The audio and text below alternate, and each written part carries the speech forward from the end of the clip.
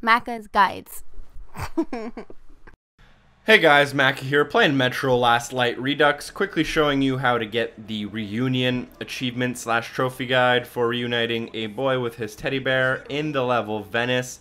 We're going to come through this area and up these stairs on the right hand side. If you talk to this dude and pay him a few military grade bullets, you're going to need, I think, like 30 of them just to get through all the waves. Uh, for the first wave, you'll pay him 10 bucks or 10 military military grade bullets, and you'll start this mini game where you have to shoot all six of these mut mutant rats within the allotted time. The first round, incredibly easy. Uh, after each round, make sure you go back down and talk to him. He'll reward you with some money and ask you if you're ready for the next round. There are a total of three rounds. The first round costs 10, the second round costs 20, and the third round costs 40 military grade bullets. I definitely recommend using a shotgun, preferably this one with six uh, shells in it.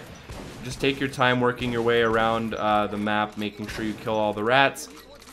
Uh, the second wave, or the second minigame will have two waves of enemies, and the third uh, minigame will have three waves of enemies. You can also use any weapon you want, including a pistol um, or a fully automatic rifle. You cannot, however, use grenades, as I can tell, from what I can tell, as I tried to cycle to my grenades and it wouldn't let me. Um, so yeah, just use that shotgun or use your pistol and take aim, and you'll see me doing the third round here. After the final round, you will be rewarded with a teddy bear. So you'll want to walk up to that teddy bear, pick it up with whatever prompt comes up on screen, and then carry it over to the boy who is down the hall.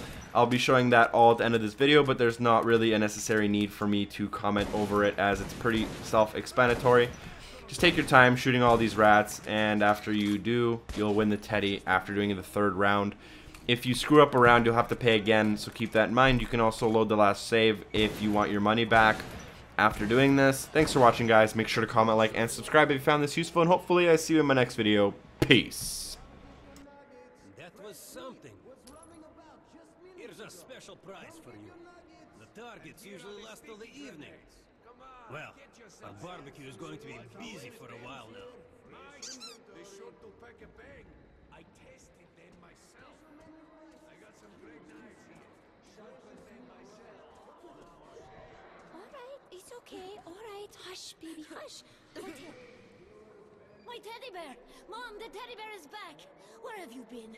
Were the buns good? Don't leave me again! Oh, thank you so much. I was at the